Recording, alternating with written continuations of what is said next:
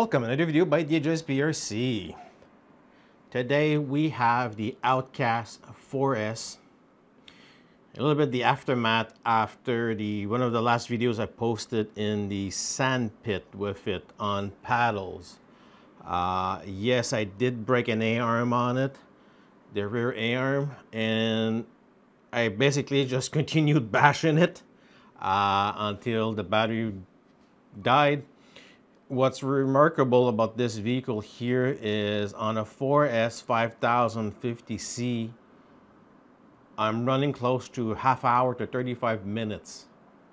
Uh, I just love the 4S version, uh, but let's remove the tires off of this because it is still full of sand. And let's, uh, let's see what I need to fix here. And I will go with RPM for the physical part itself.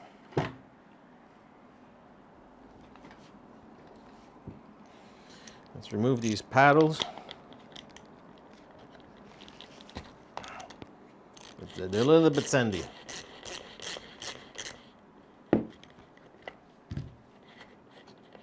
Maybe I should have done this before starting my video.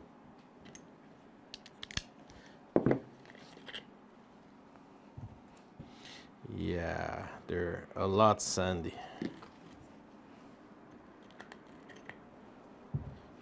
Not to lose my hex. Even if they're not supposed to come off, they do come off. I'm just gonna put my nut back here. Because they do have a set screw here to, to tighten them up, but they still do come loose.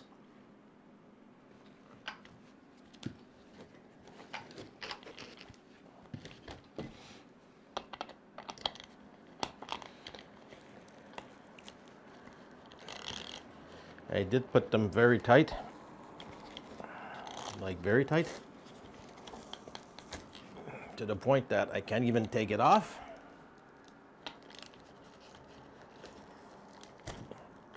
There we go.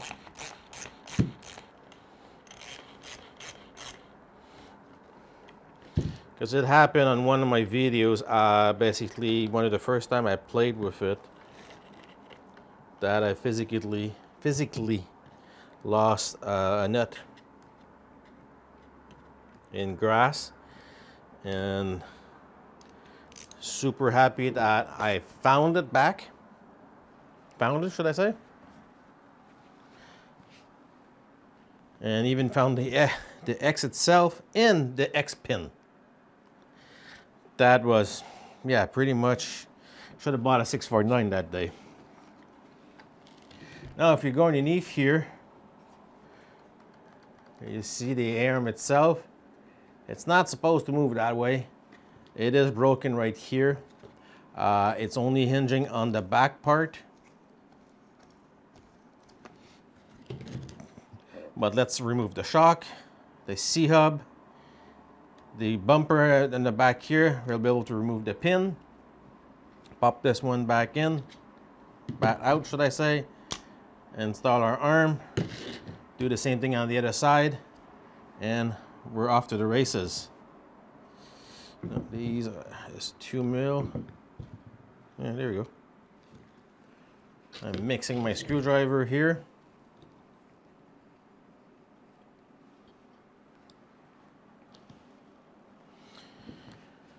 And what I do, I grab a smaller screwdriver that I have and I just insert in the C-hub to remove this pin. Now this falls off.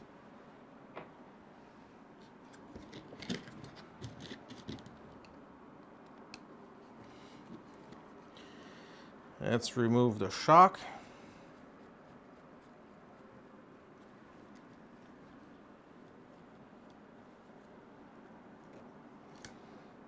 Make sure not to lose the washer.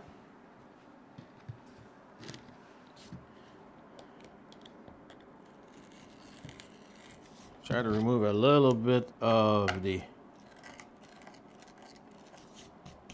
sand. This is a 3 mil.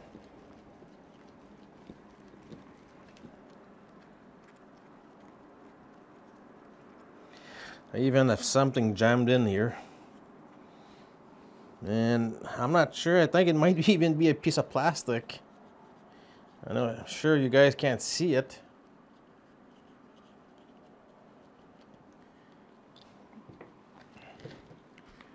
But this is concaved and I do have something wedged in there. Not sure what it is yet, but we'll find out soon enough.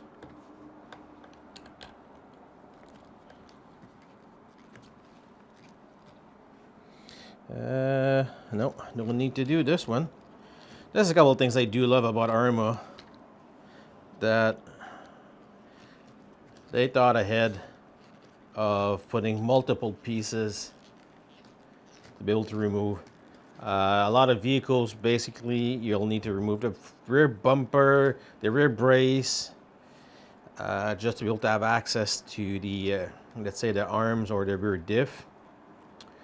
Uh, I'm not going to mention any names here, Traxxas. They could improve their, their design. Don't get me wrong, I do like Traxxas too. Okay, that's off. We'll need to remove this one here too. Oops. Uh, 2.5, come on.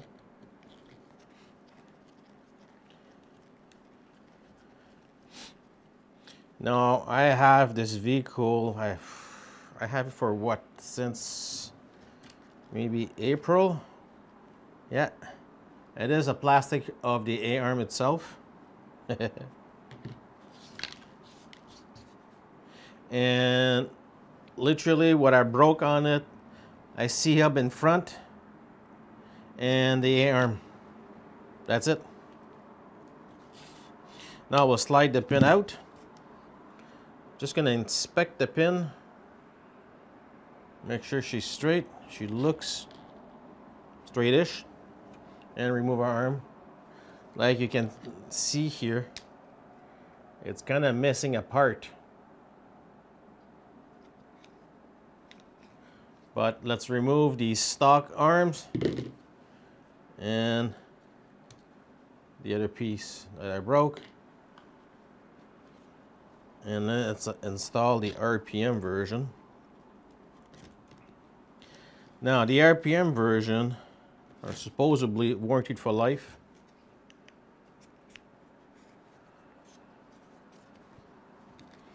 I never tried to warranty one apart. It's more a little bit of a pain for me here because I'm in Canada.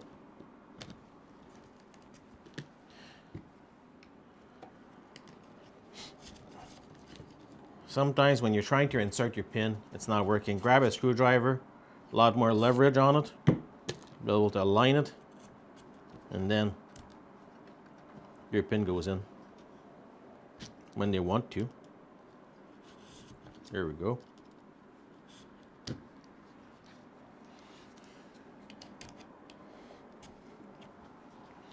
Now she's fully inserted.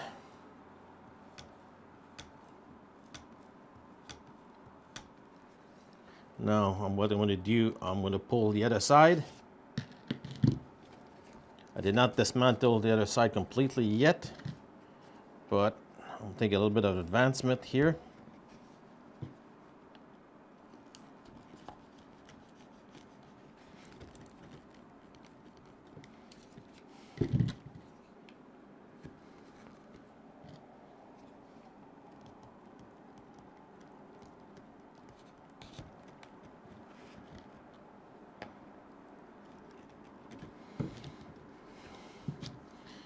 You're being stubborn. Very stubborn.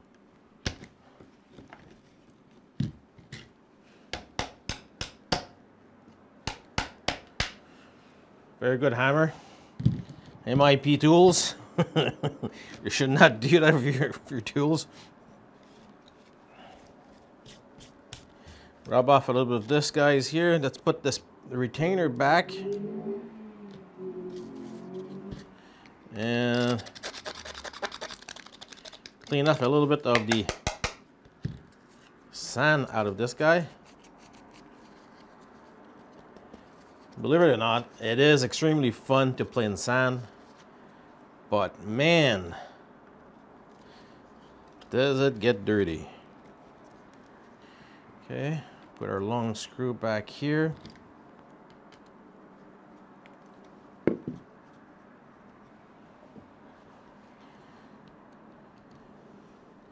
Small one in.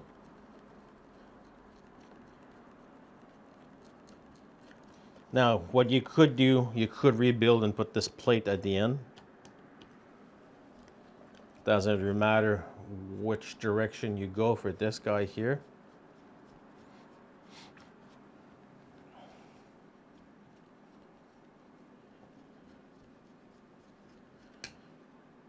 And it's basically pretty much the uh, reverse that you did to dismantle it. Uh, a lot of times, what I'll suggest to a lot of people is undo one side instead of undoing all, all both sides in one shot. Let's say something happens, you can't continue on it. Uh, you need to stop to go do something uh, or whatever. And you get back and you're like, oh, I don't remember where this goes or that goes this way, you can't forget it because you have another side to identical to follow.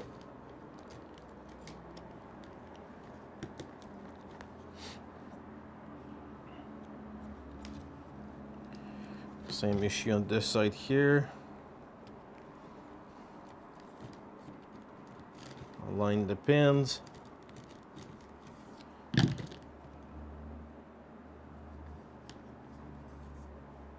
There we go.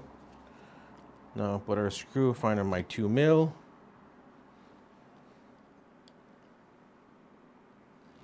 Insert this guy in. Not gonna over tighten this guy because it is only in plastic. Uh, we're gonna put our screw back here.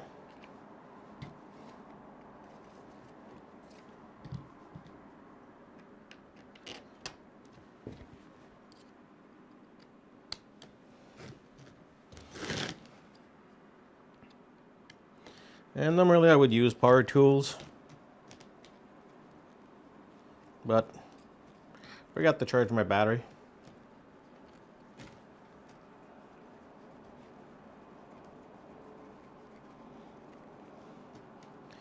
But definitely, if you're watching this just to see how the machine goes, uh, and you're not sure if this is what you want to buy, it's yes. Now, if you're used to a 6S machine, this guy here will feel like it's under power. I'm used to a 6S machine myself personally. And every time I do drive this guy, I feel like I'm missing power. But just the physical running time of the machine itself, um, I love it. Literally, like I said, I get close to probably half hour to 35 minutes of running time uh, with him. Now again, basically what I just did at this side, I need to reproduce on this guy, on this side here. I'm not gonna bore you guys continuously for this side. If you did one side, you're gonna be able to do the other side. Now, if you like this video, hit the thumbs up in that corner. It does help a lot. And if you have any comments or questions, don't hesitate, post them below. I'll be gladly to answer you. And don't forget, if you're not subscribed yet, please subscribe Thank you for watching.